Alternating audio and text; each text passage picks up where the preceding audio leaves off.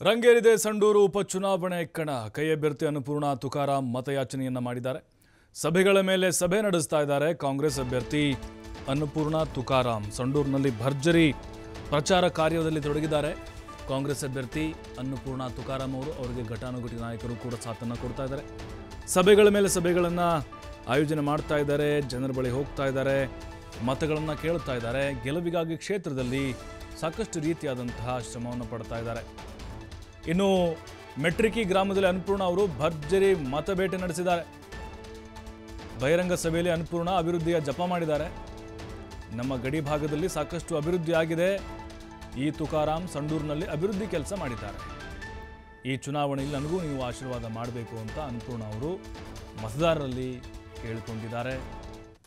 ಪ್ರಚಾರ ಸಭೆಯಲ್ಲಿ ಮನವಿಯನ್ನು ಮಾಡಿದ್ದಾರೆ.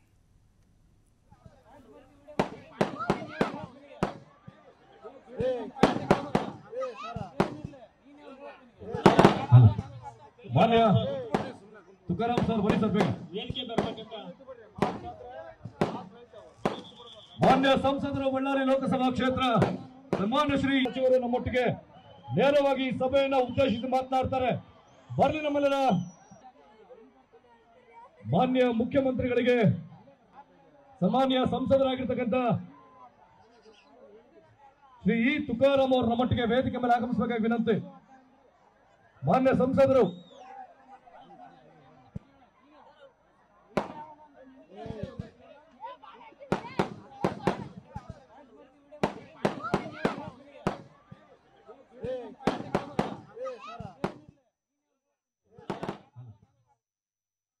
ಮುಂದಿನ ಮೂವತ್ತು ವರ್ಷಕ್ಕೆ ಎಪ್ಪತ್ತಾರು ಕೋಟಿ ವೆಚ್ಚದಲ್ಲಿ ಗೋಡಾಲು ಸೇರಿದಂತೆ ಇವತ್ತು ಶಾಶ್ವತವಾದ ಕುಡಿಯ ನೀರಿನ ತುಂಗಾಭದ್ರಾ ನದಿಯಿಂದ ಇವತ್ತು ನೀರ, ಕುಡಿಯ ನೀರಿನ ವ್ಯವಸ್ಥೆಯನ್ನು ಇವತ್ತು ಜನರ ಪರವಾಗಿ ಭಾಗದಲ್ಲಿ ಕೊಟ್ಟಿರ್ತಕ್ಕಂಥದ್ದು ನಮ್ಮ ಸಿದ್ದರಾಮಯ್ಯ ಸಾಹೇಬರು.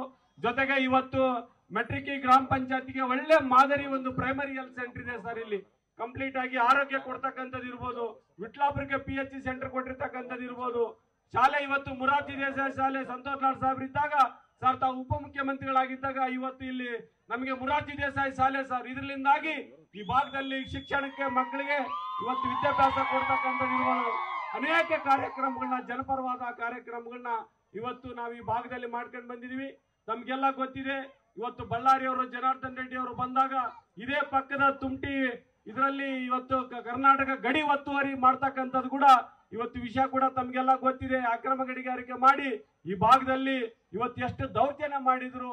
ಯಾವ ಚುನಾವಣೆ ಸಮಯದಲ್ಲಿ ಯಾವ ತರ ಅವರೆಲ್ಲ ಗುಂಡಗಳು ಕರ್ಕೊಂಡ್ ಇವತ್ತು ನಮ್ಮ ಇಡೀ ಗಡಿ ಗ್ರಾಮದ ಎಲ್ಲ ಹಳ್ಳಿಗಳು ಅಭಿವೃದ್ಧಿಯತ್ತ ಸಾಗ್ತಾ ಇದೆ ಅಂತಂದ್ರೆ ಅದಕ್ಕೆ ನಮ್ಮ ನಾಯಕರು ಕಾರಣ, ನಮ್ಮ ನಿಮ್ಮೆಲ್ಲರ ನೆಚ್ಚಿನ ನಾಯಕರಾದಂತಹ ಸಂತೋಷ್ ಮತ್ತು ತುಕಾರಾಮ್ ಅವರು ಇಬ್ಬರ ನೇತೃತ್ವದಲ್ಲಿ ಶುರುವಾದ ಈ ಅಭಿವೃದ್ಧಿ ಪರ್ವ ಇವತ್ತು ಶೇಕಡ ಎಪ್ಪತ್ತೈದರಿಂದ ಎಂಬತ್ತರಷ್ಟು ನಮ್ಮ ತಾಲೂಕಿನ ಒಂದು ಸರ್ವಾಂಗೀಣ ಅಭಿವೃದ್ಧಿಗೆ ಅವರು ಶ್ರಮಿಸಿದ್ದಾರೆ. ತಮ್ಮ ಮೆಟ್ರಿಕಿ ಗ್ರಾಮಕ್ಕೆ ಒಂದು ಮುರಾರ್ಜಿ ದೇಸಾಯಿ ಶಾಲೆ ಮತ್ತು ಹಾಗೇನೆ ಈ ಗ್ರಾಮಕ್ಕೆ ಸಮುದಾಯ ಭವನ ಒಂದು ಭೂಮಿ ಪೂಜೆ ಆಗಲೇ ನಡೆದಿದೆ. ಅದಕ್ಕಾಗಿ ಒಂದು ಕೋಟಿ ರೂಪಾಯಿ ಅನುದಾನವನ್ನು ನಮ್ಮ ಸಂಸದರು ಈಗಾಗಲೇ ಕೊಟ್ಟಿರ್ತಕ್ಕಂಥದ್ದು. ದಿನನಿತ್ಯ ಜನಸಾಮಾನ್ಯರ ಜೊತೆಗೆ ಅವರ ಕಷ್ಟ ಸುಖಗಳಿಗೆ ಸ್ಪಂದಿಸ್ತಕ್ಕಂಥ ನಮ್ಮ ನಾಯಕರಾದ ತುಕಾರಾಮ್ ಅವರು ಏನು ಅಭಿವೃದ್ಧಿ ಕೆಲಸಗಳನ್ನು ಮಾಡಿದ್ದಾರೆ. ಅದಕ್ಕೆ ಪೂರಕವಾಗಿ ತಾವೆಲ್ಲರೂ ನಿರಂತರವಾಗಿ ಇಪ್ಪತ್ತು ವರ್ಷಗಳಿಂದ ಅವರನ್ನ ಆಶೀರ್ವಾದ ಮಾಡ್ತಾ ಬಂದಿದ್ದೀರಿ. ಹಾಗೇನೆ ಇವತ್ತು ಈ ಉಪಚುನಾವಣೆ ಸಂದರ್ಭದಲ್ಲಿ ನಮ್ಮ ಮಾನ್ಯ ಕಾರ್ಮಿಕ ಸಚಿವರಾದ ಸಂತೋಷ್ ಲಾಡ್ ಮತ್ತು ತುಕಾರಾಮ್ ಅವರಿಗೆ ಹೇಗೆ ತಾವು ಆಶೀರ್ವಾದ ಮಾಡಿದ್ರಿ? ಅದೇ ನಿಟ್ಟಿನಲ್ಲಿ ಈ ಉಪಚುನಾವಣೆಯಲ್ಲಿ ನನ್ನನ್ನು ಕೂಡ ತಾವೆಲ್ಲರ ಆಶೀರ್ವಾದ ಮಾಡಿ ಪ್ರಚಂಡ ಬಹುಮತದಿಂದ ನನ್ನನ್ನು ಆರಿಸಿ ವಿಧಾನಸಭೆ ಕಳಿಸಿ ತಮ್ಮೆಲ್ಲರ ಸೇವೆ ಮಾಡೋದಕ್ಕೆ ನನಗೊಂದು ಅವಕಾಶ ಮಾಡಿಕೊಡ್ಬೇಕಂತ ಕೇಳ್ಕೊಳ್ತಾ ನನ್ನೆರಡು ಮಾತು ಮುಗಿಸ್